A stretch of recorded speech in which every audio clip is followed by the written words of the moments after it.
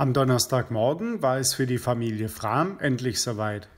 Sie konnten von Filderstadt in Richtung Norderney mit ihrem Traktor starten. Eigentlich wollten die beiden am Mittwoch losfahren. Das Wetter machte den beiden aber einen Strich durch die Rechnung.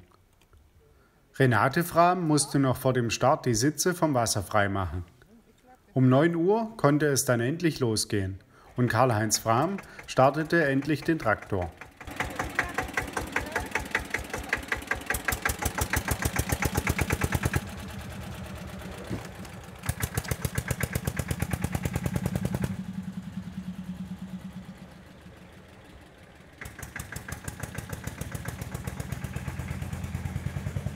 Während der Fahrt ging leider der Regen wieder los, aber beide waren gut geschützt. In einem ausführlichen Bericht werden wir nach dem Urlaub über die Reise der Familie Frahm berichten.